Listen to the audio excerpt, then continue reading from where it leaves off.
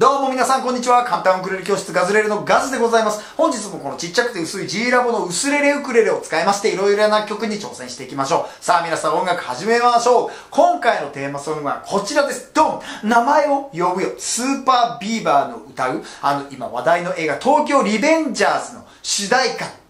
あの曲です。パワフルなロックナンバー。この小さいウクレレであの迫力と世界観を表現していきましょう。いつものように2バージョンです。最初のバージョンは初心者の方でもなるべく簡単にできるようにしているガズレレ流超シンプル簡単バージョンをゆっくりめでやります。後半はですね、これは今日はちょっとなかなか脳トレフレーズ満載でいろんなフレーズとか弾き方とかミックスされた、なかなか濃厚なことになっております。かっこいいバージョン後半やります。2バージョン最後までぜひともご覧になってください。さあ皆さん音楽始めましょう。音楽って聞くのもいいけど、やる方がもっと最高。今ご覧くださっているガズレリ YouTube チャンネルではですね、今まで音楽やりたいなと思ったんだけど、全然チャンスがなくて、ちょっと今までやってこれなかったんですという方とか、楽器に挑戦したことあるんだけど難しくてちょっと無理でしたという方、あっ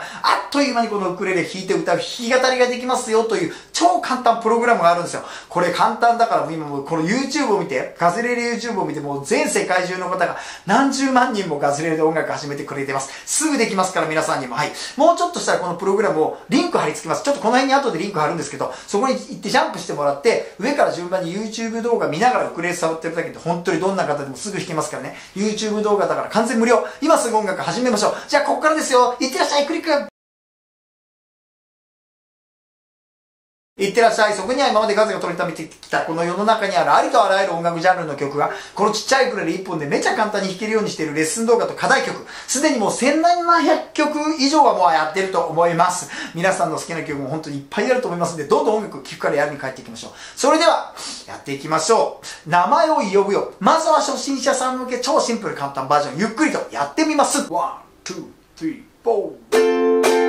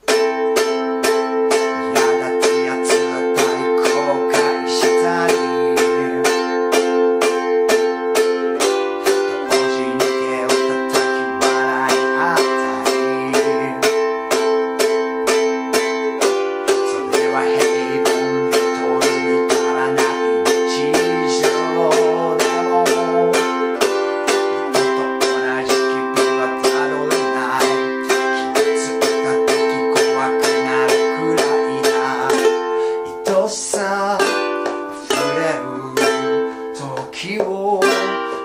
えるバカみたいなことをもう一つねえ今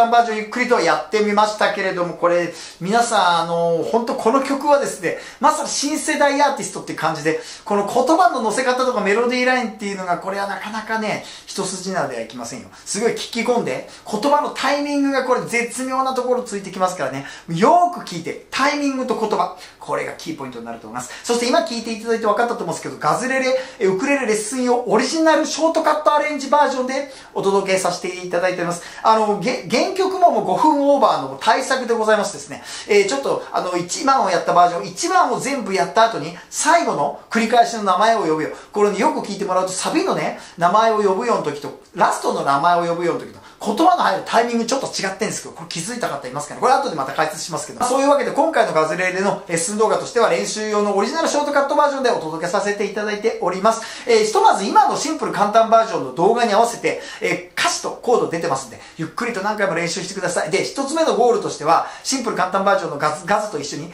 同時にこう演奏できたら、まずこれ1個目のゴール達成だと思います。え達成された方、おめでとうございます。どんどん次のステップいきましょう。次のステップは何かというと、今度は YouTube を一切見ずに、皆さん、お一人だけで歌を歌ってリズムを生み出して音楽を生み出す、これをやっていただきたいなと思うんですけど、まあいきなりちょっと歌詞とコード全部覚えるってなかなかのもんですから、まず最初は楽譜みたいなものを見て、それを見ながらこうどんどんどんどん何回もやって繰り返して覚えていくっていうのがいいと思うんですね。でも楽譜ってどこにあるんですかってなると思うんですけど、安心してください。えー、今ですね、今日は、えー、いつものことですが、このガズが手書きで書いたこのノートを見ながらやったんです。今日ね、ショートカットバージョンでもこんなギチギチ、2枚のページにギチギチですからね。えー、あと、もうちょっとしたらこれね、こんな風にカメラに映して、みんなもこんな風に書いてみたらいいと思いますよってシェアしようと思うんですけど、今めっちゃいいサービス始まってます。これです。ガズクラブです。このガズクラブっていうのは一体何かというと、毎月660円のクラブ活動費を頂戴しまして、今日の名前を呼ぶよを含む、ガズが今まで手書きで書きまくってきた膨大なノート楽譜のストックの中から、皆さんお選びいただいて、お手元に毎月5曲、えお好きな曲をダウンロードしてもすぐに練習に入っていけるよという画期的なサービスなんです。で、このガズクラブなんですけど、楽譜のダウンロードだけじゃなくて他にも山ほど色々あります。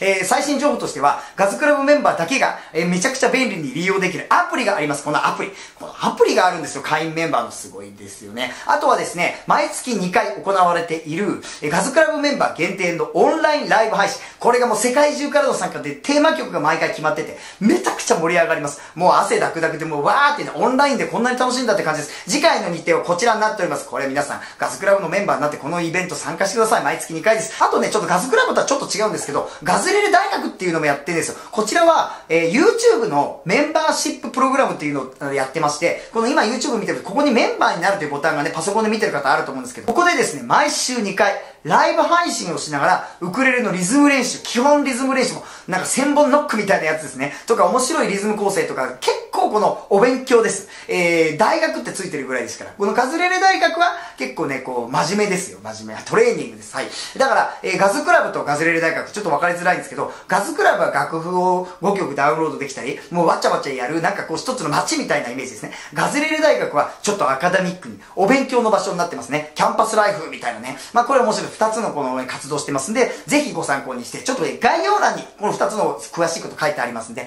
ご覧になってください。それとあともう1個最新情報なんですけど、ガズラジといってガズが朝7時半から毎朝、ラジオ放送配信してます。スタンド FM というところで、えー、ラジオ配信します。どなたでも無料で、いつでもどこでも聞けて、えー、アーカイブも聞けるようになってますんで、この辺のことも、あの、概要欄に書いておきますんで、チェックしといてください。はい、それではですね、楽譜を見てまいりましょう。名前を呼ぶよ。スーパービーバー丸1です。今日はこれ大盛りですよ。ひとまずこうやって写していくんですけど、もう、いっぱい書いてあるでしょ。このフレーズっていうのは後半のかっこいいバージョンで入れていきたい。これが難しいんですよ。今のシンプル簡単バージョンはこれを4ついて、ここが止まったとか、テロップとちょっと照らし合わせながら書いていってください。写しておくんで一時停止でどんどん書いていってください。えー、先ほど紹介させていただいたガズクラブ、えー、入っていただけると、これ、あの、ダウンロードしてご活用いただけますからね、これはね、なかなかこの手書きのノート奥が深くて、点でリズムをガズ測っているんで、この辺がすごく役立つと思います。とにかくこの歌のタイミングとメロディー、なかなかね、えー、一筋縄ではいかないないところが面白かったりかっこよかったりするわけですから、ちょっと聞き込んでやってみましょう。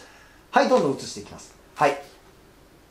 ね、この辺がね、最初のね、フレーズ、ギターのフレーズがすごい印象的なんで、かっこいいバージョンでこのフレーズを弾いていきたいなというふうに思います。そしてこの辺からどんどん展開していきます。はい、ここ伸ばすんですよね。これがすごい斬新。ここなんかいろいろ書いてあるけど、後で解説していきます。これイントロのね、フレーズ、イントロとかね、A メロとかの。はい。後で解説していきます。はい。か？あ今日2枚にわたってるんで、今日こっち側もあるんですよ。おもりですよ。これでもまだね、あの、半分ぐらいですからね、曲のボリュームとしては。まずはここまでちょっと、あの、やってみましょう。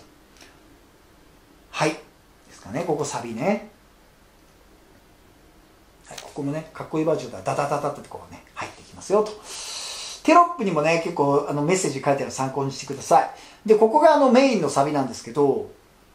えー、あのー、で、ここがラストのサビなんですけど、ここはね、ちょっとこれ面白いんですよ。 one、two、three、four、1、2、名前をってサビでは言うじゃないですか。最後のね、ここのサあのサビ、サビというか、このリフレインのところは、 one、two、three、four、one、two、名前を、C、C、C って、ちょっと名前をが前に入ってくるんですよね。そこら辺の違いがね、これ聞いてると面白いなというふうに思ったんですけど、はい、えー、こんな感じで、これラストちょっと、1個のブロックがちっちゃくなってますからね、この場所の都合上。この1ブロックがこっちになってますから、えー、最後の繰り返しのところはこんな風にちょっとやってみましたと。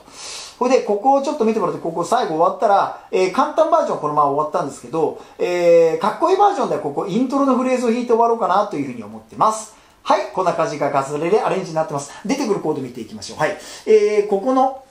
囲ってるやつ。この Gm7 というやつだけかっこいいバージョンでちょっと出てくるんですけど、はい。こっちは今やったシンプル簡単バージョン、この映ってるコードです。読んでいきます。C と a マイナー F と d マイナー、C7、G7、E7。はい。これ入門コードです。1、2、3、4、5、6、7個のコードで今できたんですね。7個のこの入門コード。これはですね、ガズレレでおなじみこれです。ガズレレ必須コード。このガズレレ必須コードっていうのは一体何かというと、このちっちゃいクレレで音楽始めたいなと思う方に一番最初に覚えてもらいたい10個の入門コードがあるんですよ。10個も覚えなきゃいけないのかと思うかもしれないけど、入門コードなんで1個ずつ見たらそれぞれ簡単。だけど10個いっぺんに覚えようと思うと頭がごちゃごちゃになるので、私がめちゃくちゃわかりやすく皆さんの頭についつい覚えられちゃう、ものすごいいい動画撮ってます。ここにその動画のリンク貼っとくんで、ぜひぜひ見ていただいて10個のこと覚えちゃいましょう。今日そのうちの7個が登場しますよということでございます。はい、じゃあ今日はね、もう山盛りなんでどんどんかっこいいバージョンの解説に入っていきたいと思いますが、一応お伝えしとくと、歌がめちゃくちゃね、さっきも言ったけど言葉のタイミングがね、絶妙なところついてくるんで聞き込んで、タイミング今のシンプル簡単バージョンで掴んでから練習していきましょう。じゃあかっこいいバージョンの解説ここから入っていきます。今も言ったけど、コードが1個追加されますから、Gm7。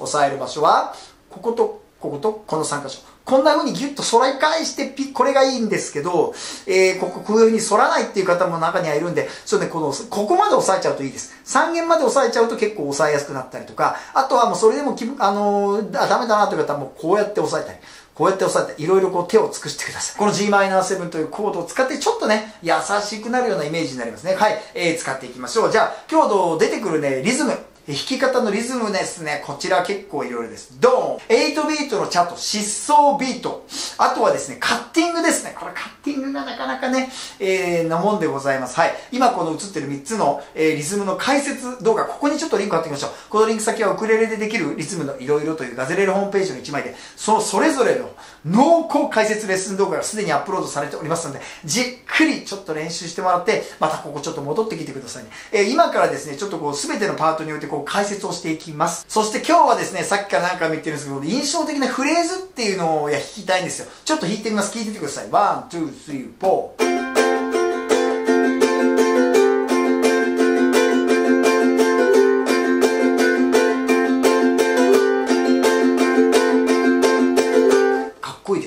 これはね、F を押さえたまんまですよ。F を押さえたまんま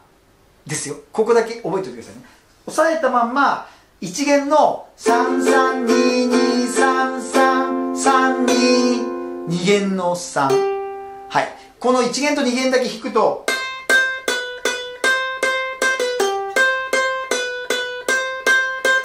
はい。これを F を押さえたまま小指で弾くってことですね。小指と薬指か。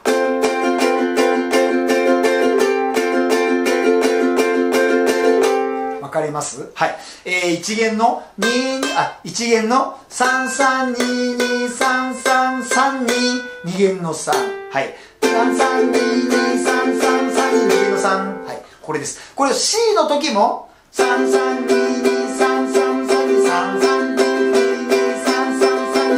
にかく F の時も C の時もこのフレーズ1っていうのはこれを指しております。表現するとこんな感じになると思いますね。なんで F の時も C の時も1弦と2弦だけでこのメロディーを弾いていくってことですからね。はい。そして、えー、ちょっとね、イントロはじゃあこれで、優しく、これ疾走ビートです。トゥクダカトゥクダカトゥクダカ。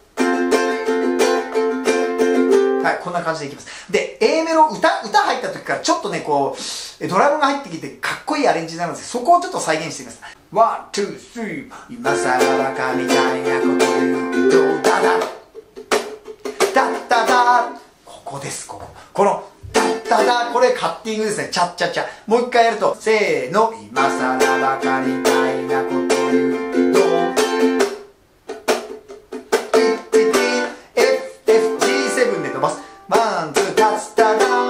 これアップで入るからね F ははいちょっと歌わずにやってみますせーの3はい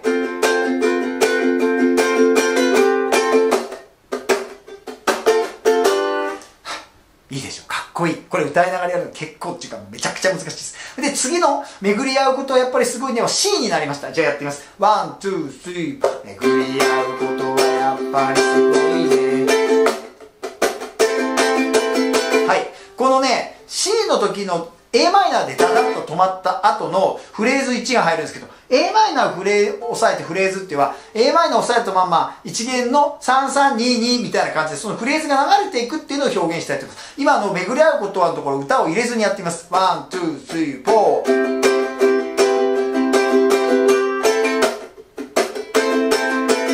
はい。このこれカッティングですから、ね、ちなみにね。えー、じゃあ、えっと、歌わずに演奏だけで一番の今更バカみたいなことから巡り合う。ちょっとやってみましょう。 one、two、three、four。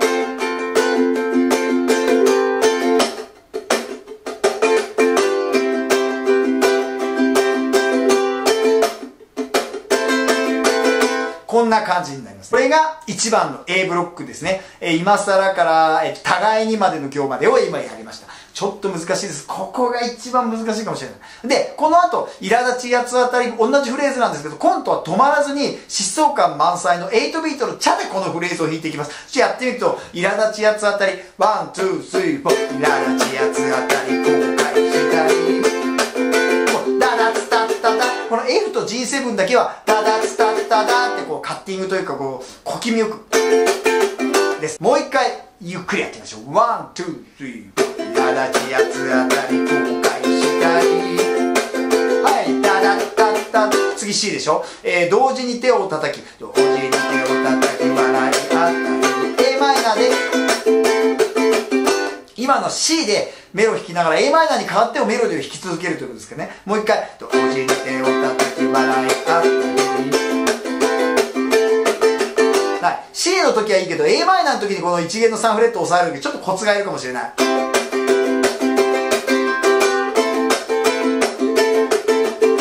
A マイナーの時に人差し指でこの上を置き換えちゃうかこのままでもこのまま器用な人はできるかもしれないですねはいそういう風になっていくんですこれはなかなかね前半めちゃくちゃこうカッティングとリズムのフレーズを弾きながらしかも歌のタイミングも難しいんですよここでもうねちょっとガズさんも相当これはねえー、やりました。練習しました。言葉のリズムとこのフレーズのシンクロがね、もうめちゃめちゃ脳トレなんです。ここのパートの動画も何回も練習してね、えー、じわじわと自分のものにしていくしかないんではないかなというふうに思います。そしてこのね、A メロ絡みのところが終わっちゃったら、あとは結構シンプルなんですよ。伸ばしたりとか、えっ、と C メロ、言わずもがなちゃんと守りたいところはもう4つ引きでやっちゃったりとか、8ビート。あの、テロップでちょっとか、あの、弾き方のところ書いてあるんで、そこはちょっと参考にしてください。で、サビは、えっ、ー、と、前半は疾走ビートでいこうと思います。サビはね、えー、 one、two、three、four、名前を呼ぶよ、名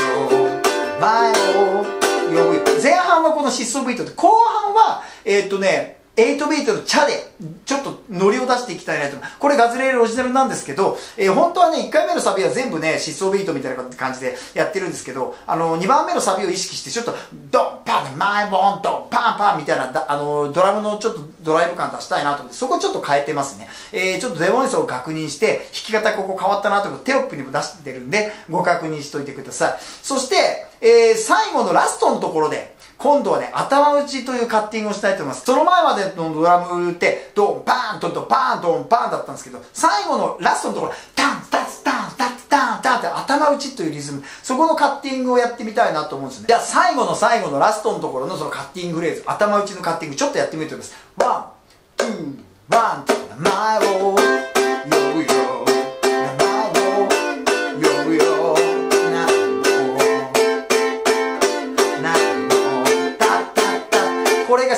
単そうに見えて結構難しいんですよ。C でやってみるとタッタッタ左手で押さえて。カッティングで音止めてるんですよこれがね安定的にこう迫力ある感じの最後も叩きつけるように終わるイメージなんですねこれロックのこうドーンってパワー。これを最後にちょっと演奏してビート感をこう強めていきたいなというふうに思ってカッティングで頭打ち。これは簡単に聞こえるけど切りながらドライブ感を出すっていうのは結構難しいんですね。しかも歌いながら、これはちょっとね、訓練してみてください。そしてかっこいいバージョンの最後には、イントロでやったあのフレーズ。これを弾いて最後に、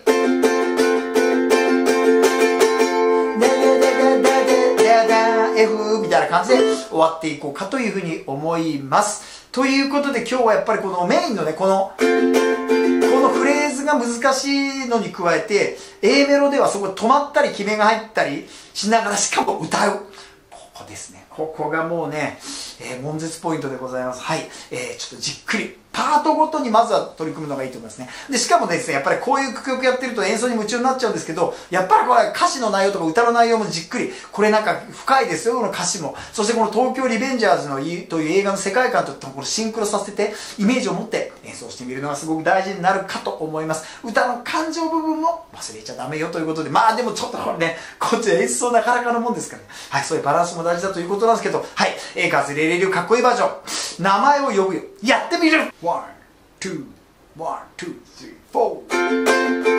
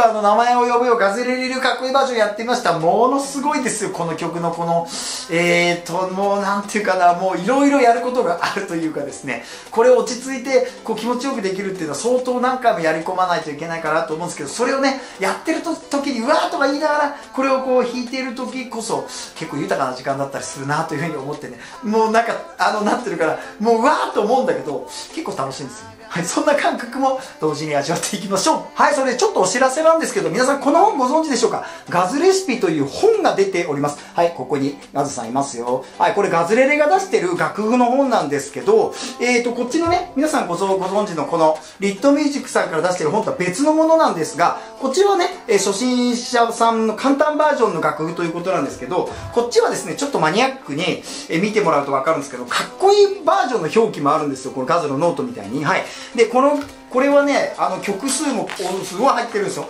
こんだけ曲数入っていまして、でね、これあの、アマゾンで、えー、今販売できるようになってます。えっ、ー、と、税抜き価格1500円です。だから、えっ、と、ちょっとごめんなさい。あの、ここにテロップ出しておきます。これぜひアマゾンでこのカタカナでガズレシピとこう検索してみてください。よろしくお願いします。さあ皆さん、お知らせです。今回ガズレレではこの度、ガズピアノというね、新しいチャンネルやってます。このガズレレのロジックをキーボードとか鍵盤とか電子ピアノに置き換えてやったらすごく簡単だったよということで、ぜひちょっと興味ある方、ここにリンク貼っておくんで、ぜひガズピアノを見ていてください。でもいろんなことやってます。えーとね、まあ、例えばグッズ、このキャップップとか T シャツとかこうストラップとかこの水引きとかもありますし、こう本があるんですよ。今これ出てる本プラス、最近この本もリリースになって、これもね、もう全部合わせて累計ね、もうね、15万部ぐらいの、あの皆さんにあのご購入いただいて、本当にご活用していただいてるんで、まあこういう本とかもね、書籍もいっぱいあります。あの、ガズレレで出してるこういう本とかアプリとかもあるんですよ。まあ詳しくはね、公式ホームページ、ガズレレ公式ホームページ見ていただくともう盛りだくさんなことやってますんで、ぜひとも皆さんフォローの方よろしくお願いいたします。それでは本日はガズレレ YouTube 動画見てくださってありがとうございました。またお会いしましょう。さよなら